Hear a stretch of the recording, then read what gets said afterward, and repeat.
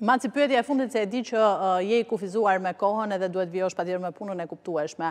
Ankohen apo jo për çmimet turistët e huaj? Ankohen për çmimet. Sigurisht që ankohen për çmimet. Ankohen për çmimet për faktin që çmimet në Shqipëri ose më saktë operatorët turistikë të cilët nuk arritën të kuptojnë në kohë që ngritja e çmimeve do t'i dëmtonte së tepërmi, sigurisht që reflektohet edhe tek turistët që vijnë. Okej. Kemi parë që në muajin korrik dhe gusht normalisht Çmimet kanë qenë të larta dhe në krahasim me vitin që vjen, me vitin që shkoi, domethënë prania e turistëve për muajin korrik gusht si të shumë së shumti domethënë ka qenë e pa e paqenë, pra prezenca e tyre ka qenë shumë e vakët, bëri që uh, operatorët turistikë të shërbimit të hoteleve, të, të restoranteve kështu me radhë, I ulnin ato automatikisht sepse le të themi e pamë vetë se çfarë efekti bumerang dhe çfarë efekti negativ ju krijoi atyre duke ju krijuar shumë boshllëqe ekonomike. Dhe kjo ishte për shkak të nxitimit ose edhe në një farë mënyrë në mënyrë popullore le të themi të vetëbesimit të tepër të krijuar tek ata se tashmë turizmi është ose fluksi turistik është i siguruar dhe Puna e tyre do të ishte patjetër njëqind për qind e siguruar, bëri që ata të të binin vetë brenda dhe normalisht kjo krijoi shumë krijoi shumë hendeqe.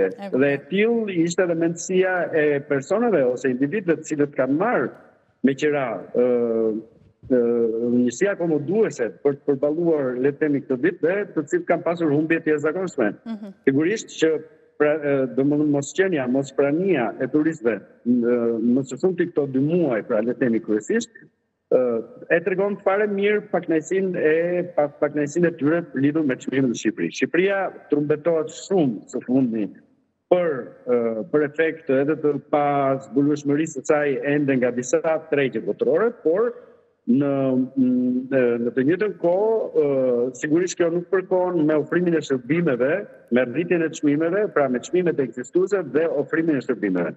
Dhe pastaj janë shumë faktorë të tjerë, të cilat shoqërohen si mungesa e infrastrukturës përshtatshme, çmimet e shportës, domethënë ose çmimet e tregut sigurisht që janë janë në disbalancë me atë që ata domethënë kituesh kanë lënë dhe tek tek pjesa që ata kërkojnë të gjejnë pra këtu kur vinë, sepse ndryshe trumbetohet dhe ndryshe shihet.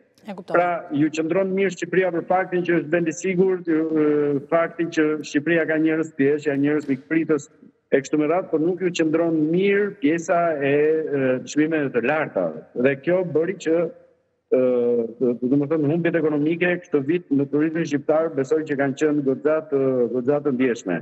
E kuptova. Personalisht e, e parandjeva një çik pjesën e, e plotësimit të kompensimit të të jashtë le të themi sezonit ose më saktë jashtë korrik gushtit Qershor, korrik, gushtit, domethënë pjesën e shtimit të turistëve në muajin shtator. Pas disa analizash, të cilat i kam i kam lëvruar, domethënë për hir të të shumë arsyeve dhe në fakt, në fakt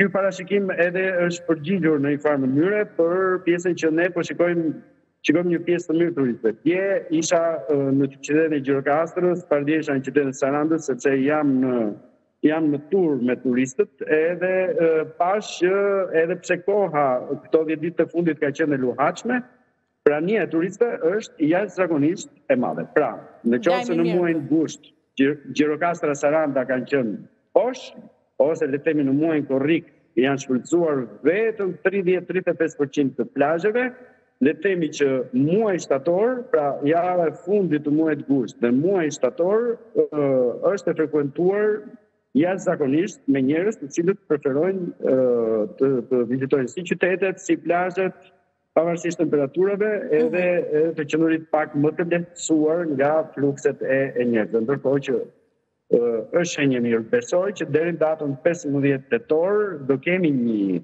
vazhdueshmëri, le të themi, domethënë, okay. pra edhe 20 ditë, 25 ditë të tjera, ne do të kemi një vazhdueshmëri të të turizmit. Dhe kjo është shenjë e mirë. Por fakti që edhe vetë kryeministri u shpreh në rrjetet sociale për masat që do të merren në sezonin e 2025-s.